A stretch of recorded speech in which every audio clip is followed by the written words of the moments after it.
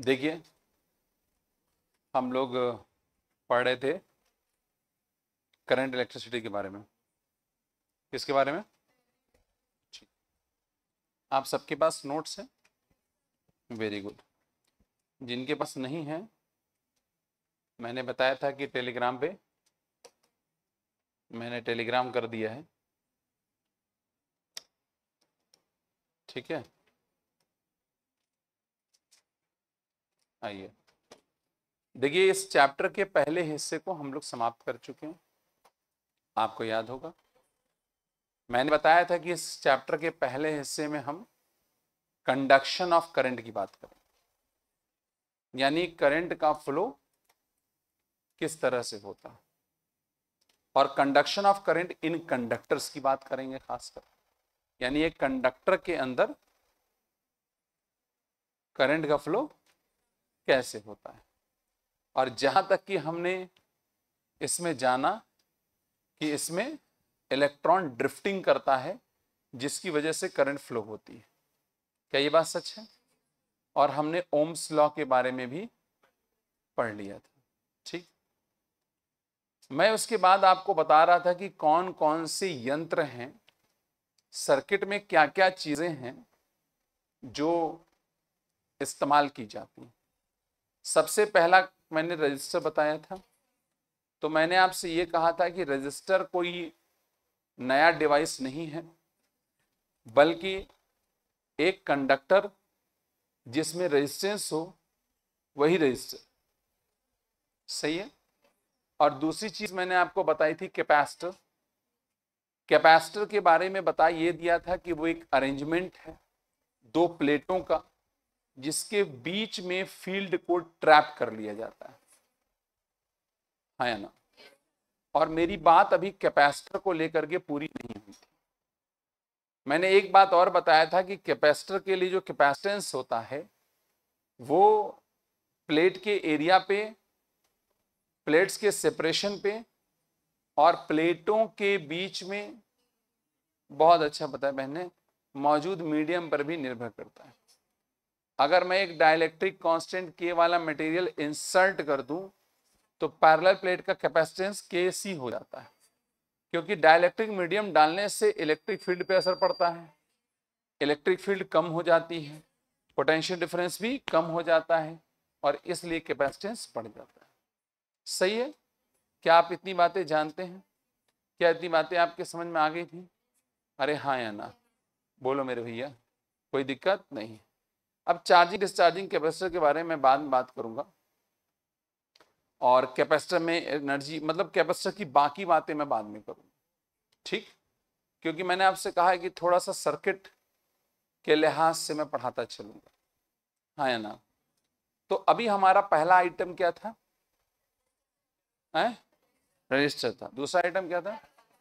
Capacitor right अब एक बात और समझनी है अपने को। हमारे पास तीसरा आइटम है सेल कौन है? भाई रजिस्टर करंट का इस्तेमाल करेगा। कैपेसिटर भी करंट का इस्तेमाल करेगा। लेकिन तीसरा आइटम है हमारे पास सेल जो कि करंट को प्रोड्यूस करेगा। यानी मुझे कहना चाहिए कि वो सोर्स ऑफ़ बहुत बढ़िया बताया इन्होंने करंट सोर्स ऑफ़ करंट देखिए सोर्स की खासियत क्या होनी चाहिए? सोर्स बस एक काम कर दे तो काम हो जाए। मान लीजिए मेरे पास एक कंडक्टर है राइट और मुझे इसमें करंट फ्लो करानी है। तो मुझे कोई ऐसा आइटम जोड़ देना है जो इनके छोरों के बीच में पोटेंशियल डिफरेंस ला दे। क्या कर दें? यही तो काम करना मुझे। Who will be the source who create who develop potential difference across the terminals English बोला मैंने। आज थोड़ी सी अंग्रेज़ी ज़्यादा बोलूँगा मैंने पी नहीं रखी है। ना? क्योंकि उसके बाद इंग्लिश ज़्यादा बोलते हो। क्यों अभिषेक भाई, आप तो जानते हैं? नहीं जानते कोई बात नहीं। ठीक है, बहुत अच्छी बात। बताया जाए तो भाई और बहनों हमको कुछ ऐसा चाहिए होगा जो उसके टर्मिनल के बीच में क्या कर दे? वही हमारे लिए क्या हो जाएगा सोर्स अगर मान लीजिए मैं कंडक्टर लू और कोई ऐसा सर्किट ही ले लू, जिसमें दो बिंदु के बीच में पोटेंशियल डिफरेंस और वहाँ दो चार छुआ दू। छुआना इज़ नॉट इंग्लिश अगर दो चार में हाँ चट करा दू, करा कोई टच करा दू, छुआ दू। यस तो करंट फ्लो करेगा? बहुत मरे हुए लोग हैं। इस पे यस थोड़ी बोलना था, इस पे नो बोलना था। तो क्या करंट फ्लो करेगा? बहन करंट फ्लो करेगा? ये फ़ोन आपका है? इसे रख लीजिए, आजकल सब्ज़ी वाले भी लेके घूमते हैं। सब्ज़ी वाले ही बैठे हैं। समय आया नहीं आया? अरे ये सुनो तो करंट फ्लो कराने के लिए अब सवाल उठता है पोटेंशियल डिफरेंस कैसे है? आइए सेल के बारे में बात करते सेल किसे कहते हैं? What is cell basic unit of life कोई बोल रहा है? कौन बोला? आपने बोला बहन? खुद ही तुम बेसिक यूनिट हो। और क्या? तुमसे बड़े चाइना वाले हैं? सेल क्या है? सुफियान भाई बताएँ। देखिए, आज की क्लास में ना मैं पूरा मामला खत्म करूँगा और मैंने पहले भी कहा है कि मैं इस चैप्टर में थोड़ा सा समय लूँगा, क्योंकि ये चार क्वेश्चन देता है और अच्छे क्वेश्चन देता है तो मैं इसको भगाऊँगा नहीं। हाँ।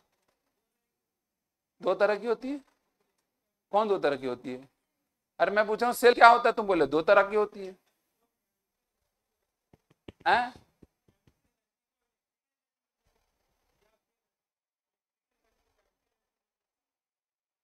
ठीक। आधी बात करी इन्होंने और आधी बात नहीं करी। हाँ लेकिन मौलिक बात कर दी इन्होंने, बैठ जाइए। एक ऐसी अरेंजमेंट है। एक अरेंजमेंट है ये। क्या है? Arrangement of some components which converts electrical energy into chemical energy और केमिकल एनर्जी इनटू जो इलेक्ट्रिकल को केमिकल बदल वो इलेक्ट्रोलिटिक सेल और जो chemical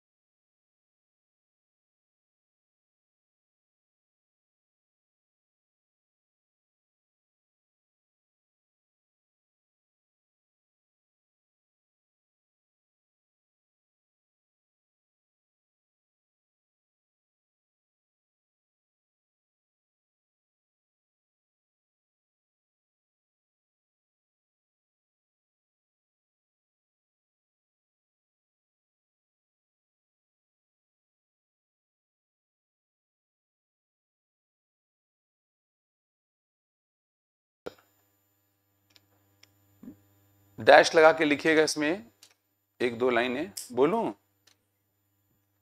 On changing the pressure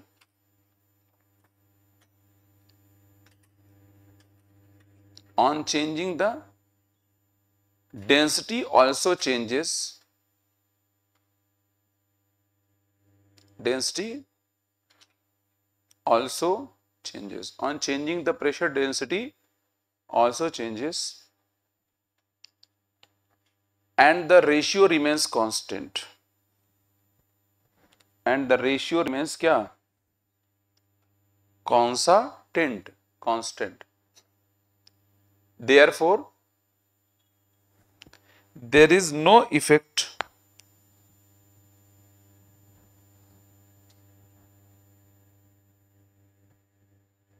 Of variation of pressure.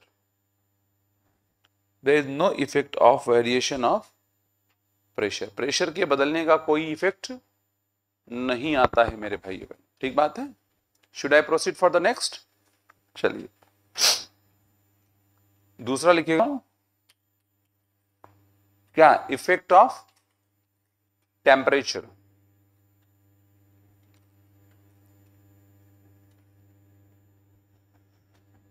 लिख लीजिएगा। On increasing the temperature on increasing the temperature velocity of sound increases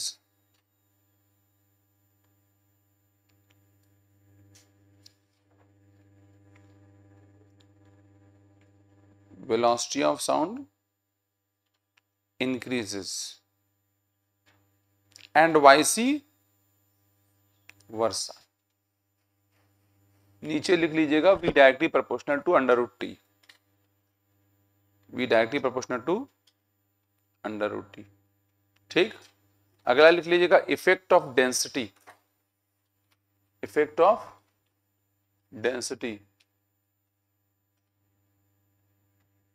लिखेगा for the same temperature and pressure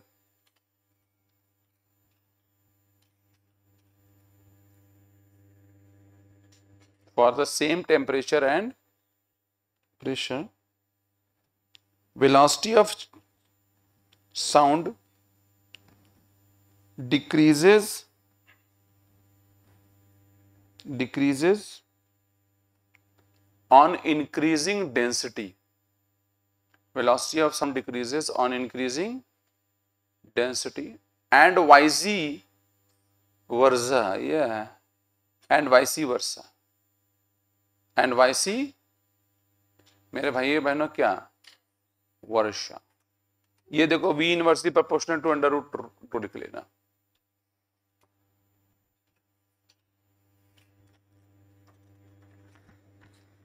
ठीक है?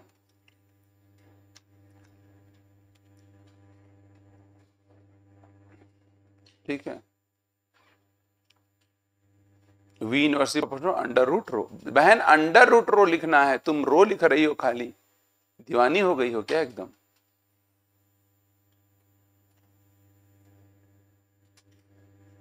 बोला जाए? देखिए, बहुत ध्यान से सुनिएगा, आप सब पढ़े लिखे हैं। मेरी जानकारी में आप सब समझदार भी हैं। धोखा किसी को भी हो हाँ सकत है आवा फिर देखिए, एक बात सुनिएगा, हम लोग ना साउंड और म्यूजिकल साउंड से रिलेटेड कुछ टर्मिनोलॉजी पढ़ेंगे ताकि हमारे आगे की पढ़ाई में जो साउंड आए, हम उसको समझ सके। तो आप हेडिंग डालिएगा, ज़्यादा कुछ है नहीं छोटी छोटी बातें हैं, जान लेना है। terms related with terms related with sound and musical sound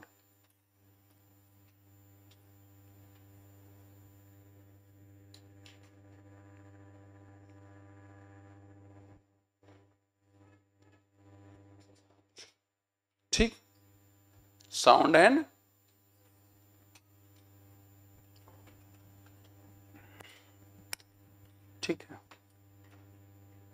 बोले? चलिए। बताए जे? देखिएगा मेरी बात। सबसे पहले हम यहाँ पर फ्रीक्वेंसी के आधार पे तीन तरह की साउंड हम पढ़ते हैं। कोई भी साउंड हो, तीन तरह चूँकि हम सब मनुष्य हैं आई एम सॉरी बहन। हम सब मनुष्य हैं तो मनुष्यों के लिए है ये जो भी बात है। अरे, पढ़ कौन रहा है? बेटे, तुम बाहर छट गई हो। एक साउंड होती जिसको कहते हैं इंफ्रासोनिक साउंड इंफ्रासोनिक साउंड अब ये इंफ्रासोनिक साउंड क्या होती? ऐसी साउंड जिसकी फ्रीक्वेंसी लेस देन जिसकी फ्रीक्वेंसी लेस देन 20 हर्ट्ज है, उसे हम क्या कहते हैं? इंफ्रासोनिक साउंड दूसरी होती है ऑडिबल साउंड ऑडिबल किसके लिए होगी? मनुष्यों के लिए ऑडिबल साउंड हम, हमको जो ऑडिबल होती है, उसकी फ्रीक्वेंसी 20 हर्ट से ज़्यादा होगी और बीस हज़ार हर्ट से कम होगी, ट्वेंटी थाउज़ेंड। ठीक? तो ये कहलाती है ऑडिबल साउंड इंफ्रासोनिक हम लोग नहीं सुन सकते। चीटियाँ वगैरह सुन लेती ठीक? आपस में बातें करनी है, पता नहीं चल रहा इसका आटा चोरी करके ले जाना है? आदमी को हवा ही नहीं लग रहा है। कान ही नहीं है ऐसे हमारे। ठीक उसी तरीके से हमारे पास कौन सा है? Ultrasonic sound. कौन सा है? Ultra sonic sound. अब ये अल्ट्रासोनिक, अब जिससे आप अल्ट्रासाउंड कराते हैं, ये वही है। अल्ट्रासोनिक साउंड से ही आप अल्ट्रासाउंड कराते हैं। ये ऐसी साउंड है जिसकी frequency greater than twenty thousand hertz. जो आप अल्ट्रासाउंड कराते हैं, वही है। अल्ट्रासाउंड तो अल्ट्रासाउंड आपके पेट में भेजी जाती है इको इफ़ेक्ट पे काम करती है। वो वहाँ से टकरा के लौटती है। और वो फिर डिवाइस डिटेक्ट कर लेता है उससे एक इमेज क्रिएट करता है। और वो जो इमेज होती है, वो एक रफ इमेज होती है, जिससे हम अंदाज़ा लगा लेते हैं कि ये मामला होगा। चिमगादड़, वो भी अल्ट्रासोनिक साउंड प्रोड्यूस करता है, जब उड़ता है तो। हमें सुनाई नहीं देगा। ज़ाहिर सी बात है।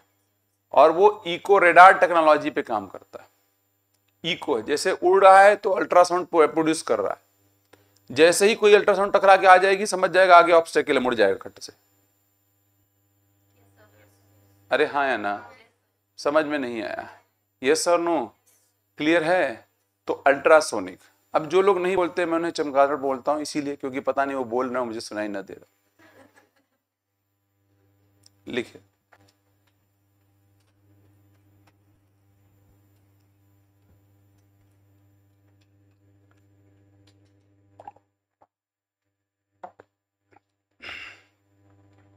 तो क्या आप अल्ट्रासोनिक, इंफ्रासोनिक और सोनिक समझे?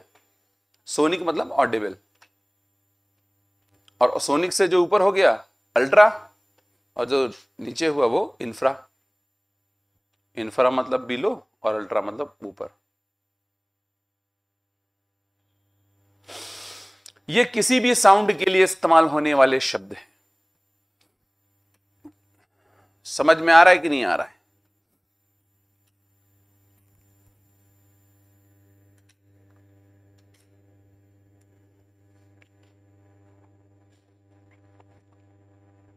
मैं बोलूँ आगे? इसी को लिखने में लोग छह घंटा लगाएँगे। लाल कलर का पेन निकालेंगे, वो बड़ा ग्रेटर वाला निशान लगाएँगे। फिर हरे कलर से बीच वाला लिखेंगे। ये साउंड लिख रहे हैं माइटोकांडिया बना रहे हैं, समझ में नहीं आ रहा मेरे। जल्दी करो। तो बोला जाए? छोटी छोटी एकदम अब साउंड के लिए एक और दूसरा शब्द इस्तेमाल, ये किसी भी साउंड के लिए इस्तेमाल होने वाले शब्द राइट और उसका नाम है पिच ऑफ़ साउंड क्या नाम है? Pitch of sound pitch of sound देखिए पिच का संबंध होता है कि कौन सी आवाज़ कितनी शार्प है या कितनी फ्लैट है। ये किसको बताती है? शार्पनेस या फ्लैटनेस ऑफ़ साउंड को। अब ये शार्प और फ्लैट क्या होती है? शार्प का मतलब थोड़ी कड़ी आवाज़ होगी। हमारी कानों को टन टन टन लगेगी, श्रिल होगी, अंग्रेज़ी में श्रिल कहते हैं। है ना? तो ये ये किस चीज़ के लिए होती है? शार्पनेस या फिर इसको श्रिलनेस कहते हैं? Shrill, shrillness. और फ्लैट साउंड, फ्लैटनेस, कितना फ्लैट साउंड है मतलब आवाज़ भारी है और कितनी आवाज़ महीन है, पतली है। अरे आम बोलचाल की भाषा में बता रहे हैं।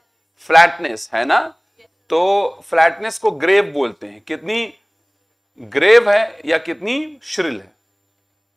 Right right? अब जितनी ग्रेव साउंड होगी, जितनी फ्लैट साउंड होगी, पहली बात तो आवाज़ उतनी भारी होगी।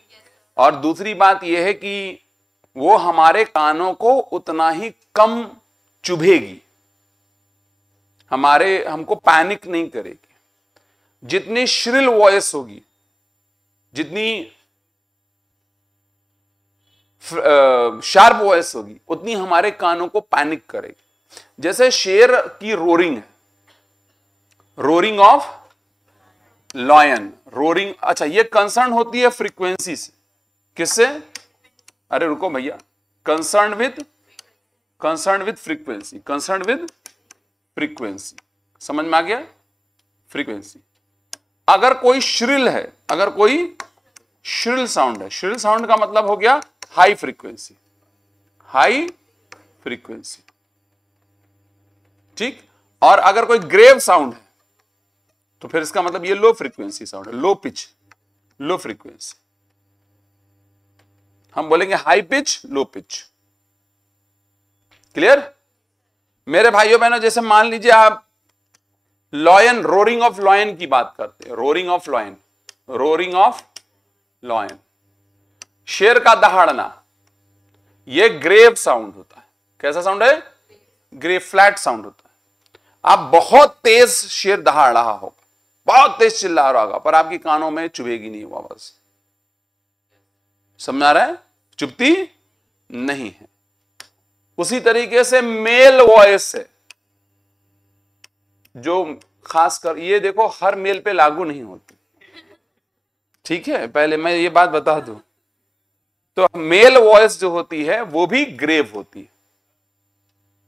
कैसी होती है? ग्रेव, यानी फ्लैट होती है। मेल वॉइस भी कानों में चुभने वाली नहीं होती है। समझ आ रहा है? लेकिन अगर आप मॉस्किटो की आवाज़ देखोगे, किसकी? मॉस्किटो की वॉइस मॉस्किटो जो भिन भिनाता है मॉस्किटो वॉइस तो नहीं कहना चाहिए, लेकिन मैंने लिख दिया है मॉस्किटो की आवाज़। मॉस्किटो की आवाज़ जो होती है, वो श्रिल होती है भैया। समझ में आ रहा है? कान में एक मच्छर अगर चला जाए तो आप नींद नहीं, आपको नींद नहीं आएगी। क्यों? कानों में बहुत चुभेगी।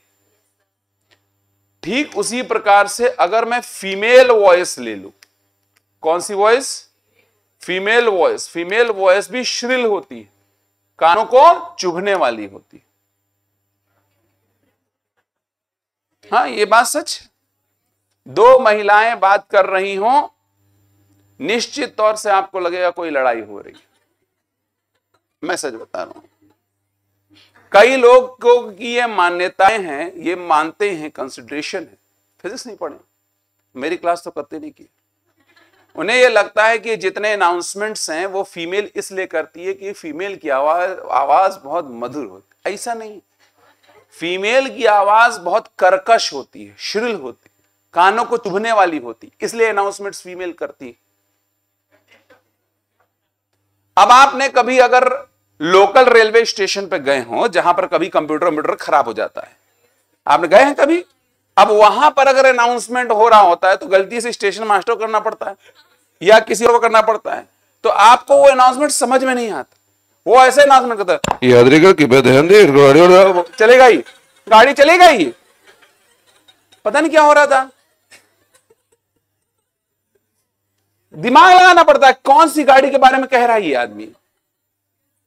फीमेल यात्रीगण कृपया ध्यान दें। यात्रीगण आने वाली में बैठना था जाने वाली में बैठ के चला गया। आप समझ रहे हाँ बात मानिए। इसीलिए महिलाओं की आवाज़ इस्तेमाल की जाती यदि आप समझते हैं कि बहुत मधुर होती तो ऐसा नहीं है। जिनका रिचार्ज कूपन रात के नौ से सुबह छह तक काम करता है, उन्हीं के लिए मधुर होती है।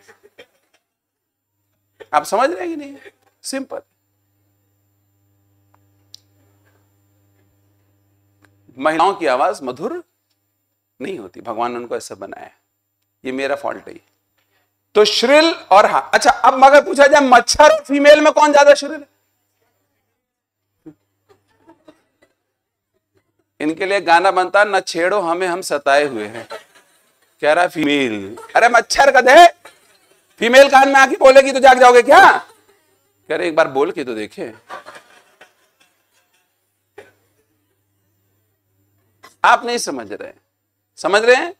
तो this is all about the pitch voice pitch of voice right तो हाई पिच लो पिच का संबंध फ्रीक्वेंसी से एक ही प्रश्न बनता है कि पिच का संबंध किससे? हालाँकि ये सब सवाल पूछे उछे नहीं जाते हैं, लेकिन मैं बता इसलिए रहा हूँ क्योंकि अब इसमें वर्ड आएगा कहीं ना कहीं तो आप फिर पिच से परेशान हो जाओ।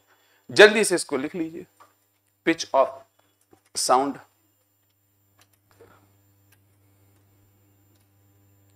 थोड़ा तेज़ी से लिखे। कई लोग पिच का मतलब कलर अलग रख रहे हैं ऑफ़ साउंड का कलर अलग रख रहे हैं। वकील साहब, जल्दी करिए। ये किस वकील का कोट चोरी करके तूने बनवाया? कोई तो था। जी। श्रिल होने का मतलब हाई फ्रीक्वेंसी और ग्रेव होने का मतलब low frequency male voice grave मिलेगी आपको फ्लैट साउंड होगी। दैट विल नॉट बी कर्कश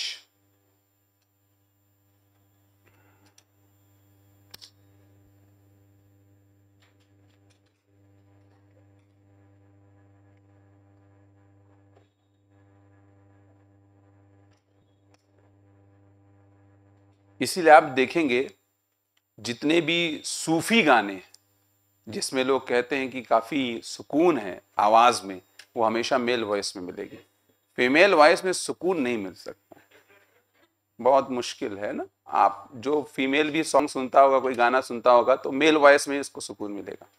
क्योंकि सुकून का मतलब ग्रेव मिलेगा फ्लैट मिलेगा। फीमेल वॉइस तो वैसे ही कर, एक बार कहीं तान छेड़ दिया तो टिम्पैनिक मेम्ब्रेन दोनों जुड़ जाएँगे। हाँ जी। ये देखिए। Roaring of lion and male voice mosquito voice mosquito voice नहीं होती एक्चुअली वो। वो तो क्या बोलेंगे? भिन बनाना ऑफ़ मॉस्किटो तुम भी भिन बनाती हो बहन। ऐसी तो बोलती हो ठीक है। आज के लिए इतना ही रखते हैं।